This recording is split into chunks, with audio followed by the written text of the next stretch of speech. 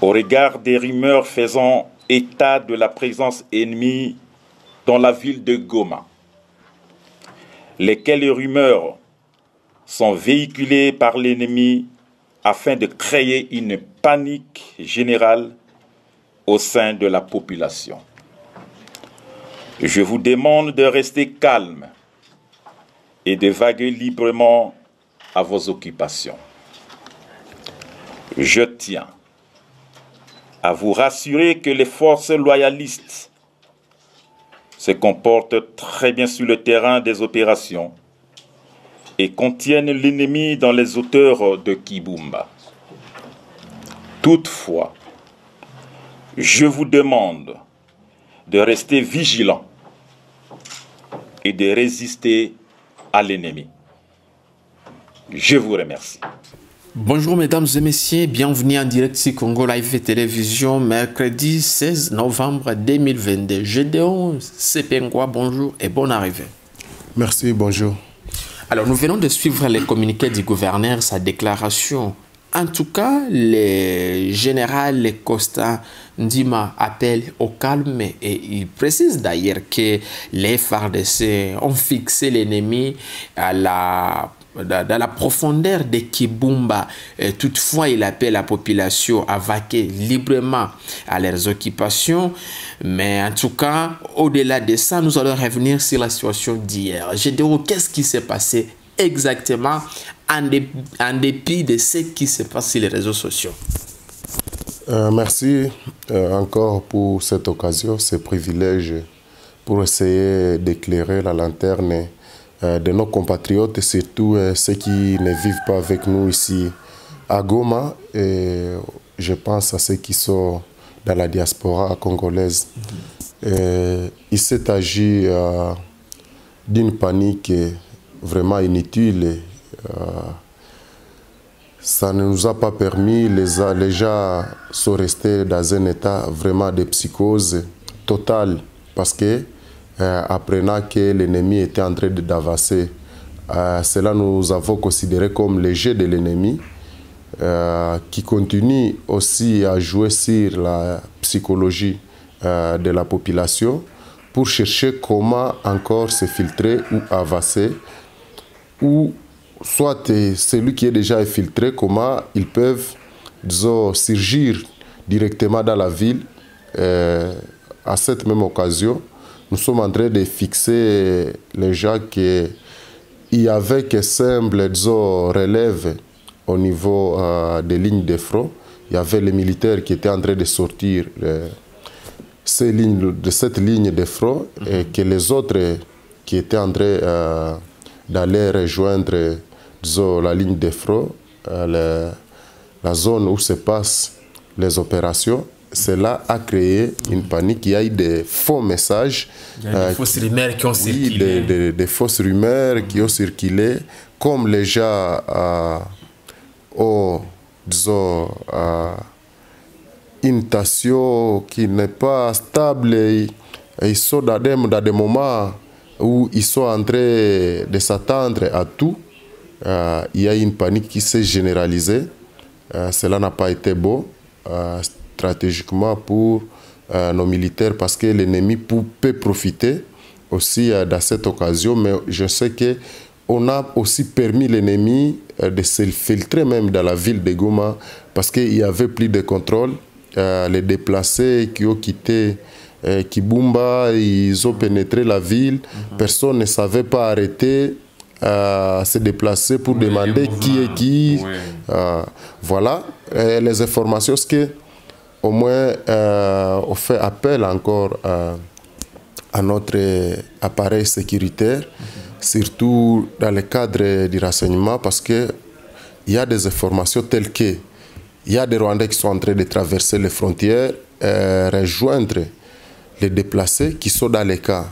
Nous pensons que c'est danger. Cela peut permettre, ça permet plus l'infiltration de l'ennemi. Si à notre niveau, nous, nous apprenons ça, alors nous pensons que à leur niveau, ceux qui sont censés faire le travail, ils ont beaucoup de formations sur ça, mais nous voulons les voir aussi travailler beaucoup sur cette question parce que à tout moment, l'ennemi peut trouver un chemin. Son souci, c'est d'atteindre Goma pour se faire sentir euh, sur le plat, euh, sur le plan mondial, quoi, montrer qu'il est plus fort. Maintenant, euh, rassurer les gens que, au même moment que les gens étaient en train de paniquer, mais quand même à ce moment-là, là où on disait que l'ennemi venait de récupérer cette zone-là, au même moment, les, gouverneurs, mais aussi le président sortant du Kenya, étaient en train de visiter cette partie pour assurer les gens qu'il n'y avait rien. C'était juste euh, une panique et l'ennemi a profité de cette panique. Il l'a il amplifié. Voire même vos confrères journalistes qui sont en train de donner des fausses informations. Surtout, euh, nous sommes en train de condamner RFI au CAPI euh, qui excelle dans la désinformation. Et ça n'arrange pas. Ça n'arrange pas à un certain moment, nous pensons qu'ils seront la cible de notre ils seront la cible euh, de, notre, de nos prochaines manifestations parce que ce n'est pas normal. Euh, si vous travaillez à République démocratique du Congo, il faut partir euh, dans la logique. Mais, mais de, de, un instant, vous êtes revenu sur quelque chose qui est très important. Euh, vous dites qu'il y aurait, moi je le mets au conditionnel parce que vous voulez confirmer, il y aurait des, des, des Rwandais, c'est vous, qui seraient en train de traverser euh, la frontière. Ils viennent du Rwanda pour la ville de Goma et aller au cas de déplacés de Kanyaruchinya, c'est ça? Oui, nous avons des informations comme ça. Euh, les informations vérifiables même. D'accord. Ces informations vérifiées parce que c'est selon vous, pourquoi le gouvernement peine à fermer cette frontière de Goma? Parce qu'il y a eu plusieurs manifestations dont on a vu les manifestants demander au président Tshisekedi. Parce que cette population, ces habitants de Goma ont estimé que euh, c'est un danger aussi laisser ces frontières euh, où euh, voilà la frontière Goma Gisenyi la laisser comme ça donc et ils ont suggéré que la frontière soit fermée. Pourquoi cela n'est pas fait pendant ces moments ici? C'est l'appel que nous sommes en train de faire même. Euh, nous l'avons demandé. On a laissé quand même que le gouvernement puisse faire son travail. Euh, celui qui, qui a encore plus des informations. Euh, sur le plan politique, je ne sais pas ce qui se, commence à se jouer. Pourquoi on laisse les frontières comme ça poreuses? Mais est-ce que ce n'est pas dit euh, à la faiblesse de ceux qui sont entrés euh, dans nos, services là à la frontière? Mhm. Mais ça aussi, euh, il faut signaler. Mais je pense que l'important serait aussi, nous avons demandé ça, mais bon, chaque chose a son temps. Nous pensons que le gouvernement a attendu notre doléance, notre cri. Mhm pour essayer de diminuer disons, euh, ce, va-et-vient alors que nous sommes, nous sommes d'accord et le gouvernement ne cesse de le dire que c'est le Rwanda, le Rwanda qui nous, nous agresse. Et on a pris des mesures qui n'ont pas été efficaces jusque-là. J'estime que ça n'a pas été efficace, que euh, on devait ouvrir les frontières à 10 heures et fermer à 15 heures juste. Mais euh, quand vous montez le long de la frontière, il y a une place, d'ailleurs on l'appelle B13 comme ça, c'est le nom. Euh, les gens passent du matin jusqu'à 21h, ils sont en train de traverser. C'est un danger, tout ça. Euh, Peut-être que nos autorités, euh, d'une ou par une autre voie, ils vont, ils vont, ils vont nous écouter et pour revenir sur cet aspect mhm. pour euh, essayer d'être efficace sur ce point. Après après les rumeurs qui ont circulé dans l'après-midi d'hier jusqu'à faire paniquer la population de Kibati, la situation se réveille ce matin très calme. La population et quelques déplacés qui commençaient à fuir en destination de Goma regagnent Kanyaruchinya et d'autres leur maison. Mais il faut préciser également qu'un calme précaire règne ce mercredi matin sur la ligne de front de Kibumba, à environ 20 km de Goma. Kibumba reste partagé par les FRDC et les M23. Alors, euh, aucune réaction. Nous savons que Kibumba, il y a eu tentative de débordement par euh, l'armée rwandaise. Ça n'a pas tenu. Je sais que Kibumba, personnellement, reste entre les mains des FRDC. Mhm. Le gouverneur militaire a fait un point sur ça. Et le gouverneur n'a pas dit que les M23 ne sont pas à Kibumba. Kibumba est tellement vaste qu'on ne sait pas déterminer parce que nous partageons les frontières avec les Rwandais. Là, nous sommes déjà à Kibumba. Mhm. Et donc, nous savons que l'ennemi est là, des c'est au bord des, frontières. Ça, nous connaissons. Ce n'est pas même hier, c'est depuis longtemps, depuis que les affrontements euh, ont été repris. ont été repris. Alors, euh, dire que Kibumba, parce que c'est ça aussi les informations qu'il faut paniquer les gens. Quand nous sommes ici à Goma, quand nous parlons de Kibumba, on voit déjà euh, l'ennemi à quelques mètres, alors que quand on parle de Kibumba, Kibumba c'est trop vaste, il faut bien préciser euh, là où se trouve l'ennemi. Non, quand on précise déjà, on donne des kilomètres, parce qu'on sait que là où, par exemple, les, affrontements se déroulent, c'est à environ 20 km au nord de Goma. Là, les gens peuvent déjà s'imaginer, peuvent déjà comprendre facilement les kilomètres, monsieur Gédéon. Je ne refuse pas, je sais que l'ennemi tente toujours à Kibumba. Ouais, à 20 km de Goma. Mais quand vous parlez de 20 km, je ne sais pas comment vous, vous faites, il faut calculer. Je non, ça se calcule, ça se voit, il faut voir la carte. Je, je... nous devons, je sais, il y a les gens qui nous suivent qui ne veulent pas attendre cette vérité. Il faut voir la carte. il y a une carte Gédéon. Il faut voir ces différents villages. Parce que Kibumba, c'est un groupement qui est dans le territoire de Niragongo. Niragongo qui est un territoire parmi les territoires du Nord Kivu?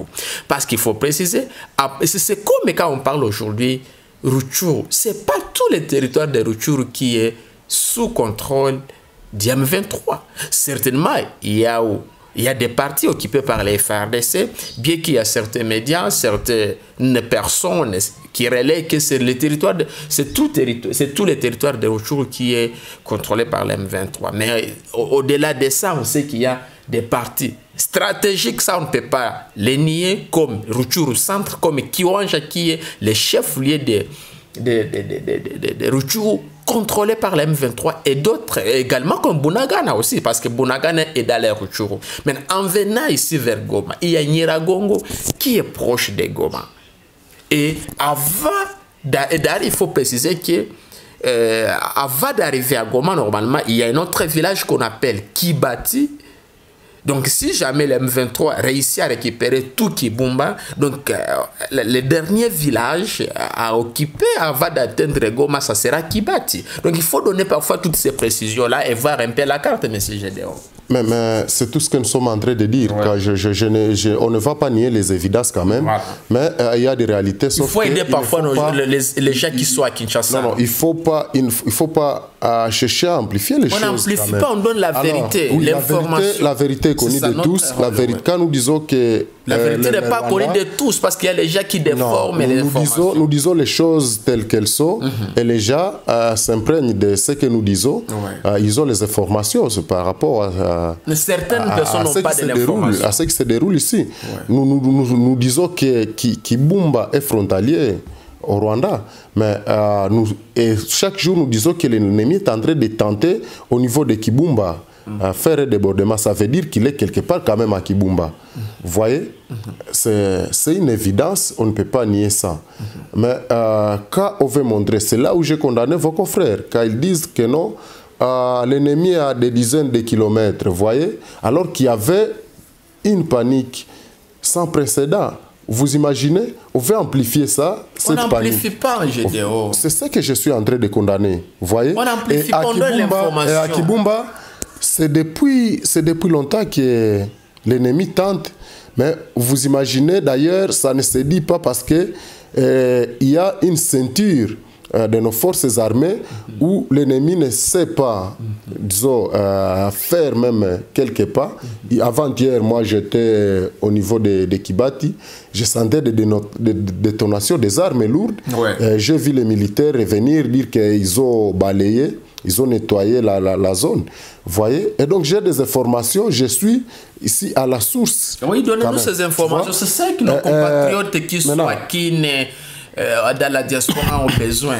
Alors, quand, quand- quand vous voulez montrer que On n'a non, pas besoin le- on est en guerre, Mais, mais aussi, le mal, c'est que pourquoi on donne les privilèges à l'ennemi, montrer que l'ennemi doit nécessairement avancer, l'ennemi va avancer? C'est ça les informations qui sont en train d'être relayées. Et on ne donne pas les privilèges à l'ennemi. Permettez? Oui. C'est tout ce qui est en train de se dire.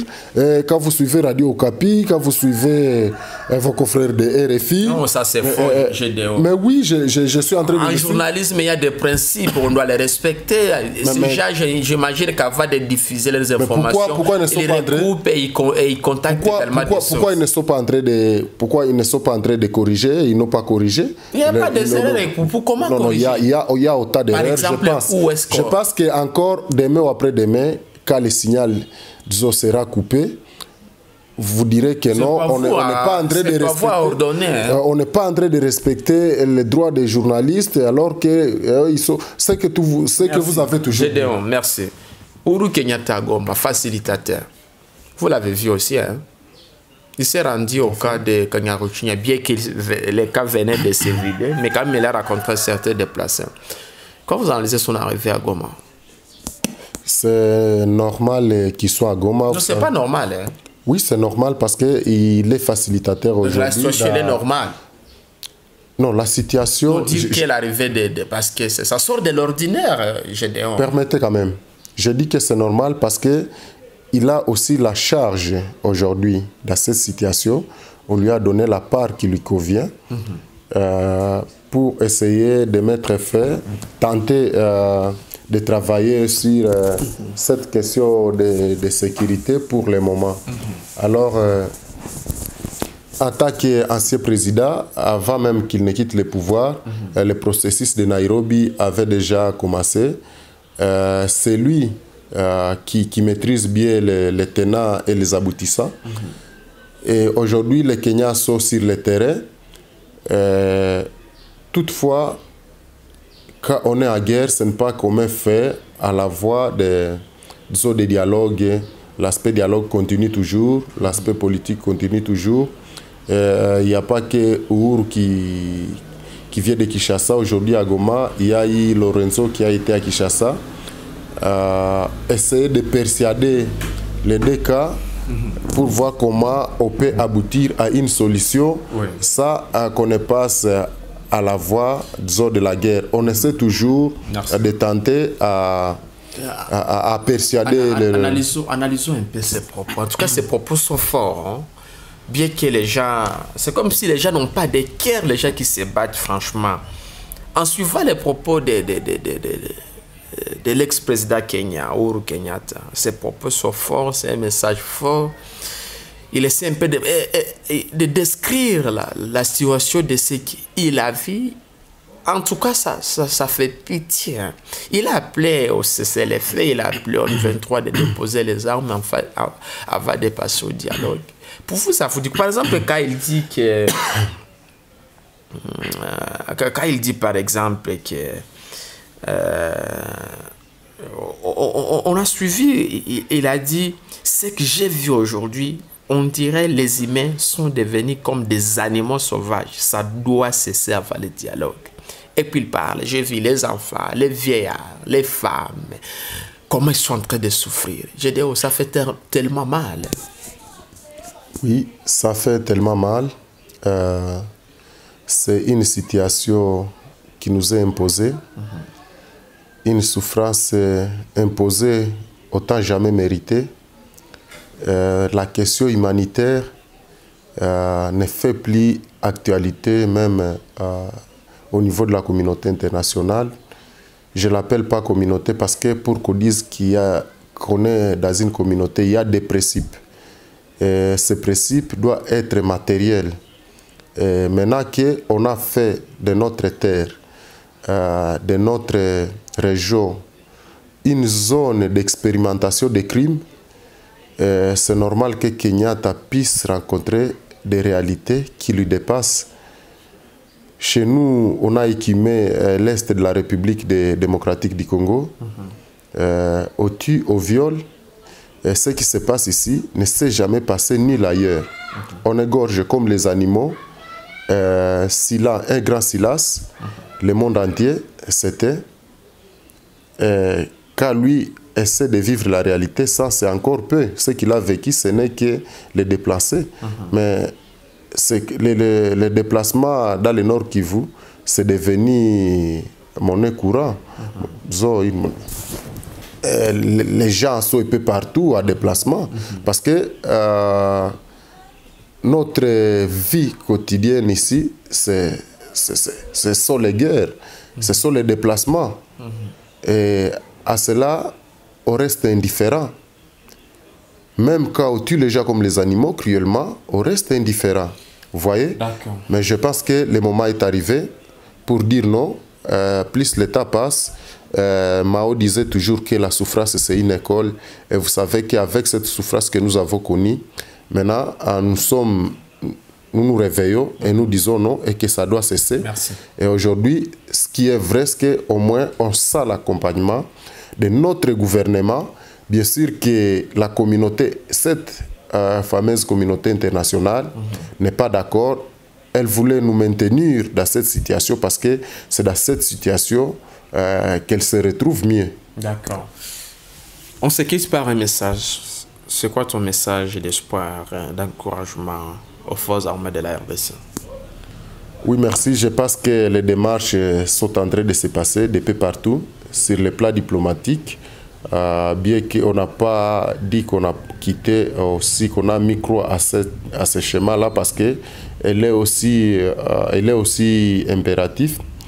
Mais euh, nos phares d'essai, que nous continuons à faire notre part, euh, attaquer peuple, attaquer citoyens congolais, euh, bien qu'on est limité, mais euh, nous l'encourageons aussi de faire leur part, mais aussi nous appelons les autorités militaires d'améliorer toujours les conditions disons, sociales de nos forces armées. Surtout les mêmes les militaires. Il faut S'il vous plaît, je, je voulais placer un mot. Je voudrais que Kinshasa, si c'est Kinshasa, les autorités militaires, les, les hauts officiels, les gens qui sont qui s'occupent vraiment des, qui vérifient, qui s'occupent vraiment des militaires, De surtout qui sont, oui. euh, qui, qui- qui combattent. Il faut vraiment qu'ils que se que tout va bien. C'est pas, c'est pas, tout va bien, ce n'est pas seulement gagner euh, cette guerre. C'est se rassurer si ces militaires sont bien encadrés. Parce qu'il y a des choses aussi parfois qu'on voit et, et ça nous inquiète. Il faut lancer un message dans ce sens aussi, Gédéon. Vous, vous êtes à Goma, vous voyez, vous voyez ce qui se passe Oui, ici. je suis, je suis en train de lancer un message. Le président l'a dit même qu'il est en train de donner de gros moyens à Est-ce que l'armée. ces moyens pour- arrivent aussi? Voilà, à la l'armée pour que euh, alors euh, les, les- nos militaires soient bien motivés. Mais au- au moins, on sent encore des lamentations euh, de nos militaires. Je pense qu'il y a des inspecteurs euh, au niveau de Kinshasa. Ils doivent être sur Merci terrain beaucoup. et ils doivent être euh, vraiment euh, dans le travail qu'ils sont en train de faire, que ce ne soit pas édile. Nos militaires qui sont au terrain doivent être motivés pour que euh, puissent faire leur travail très bien. Euh, à cela, je pense que c'est un aspect tellement capital. Il ne faut pas, pour une autorité qui va nous écouter, euh, qu'il puisse au moins relayer ce message. Nous sommes sur terrain. Nous savons que de l'autre côté aussi, euh, ils seront accusés euh, d'avoir échoué par- par- par- parce que seulement ils n'ont pas bien encadré euh, les militaires. Merci. Mesdames et messieurs, fait de cet entretien, nous vous fixons rendez-vous dans les heures qui suivent pour un nouveau numéro. Nous vous disons bye bye.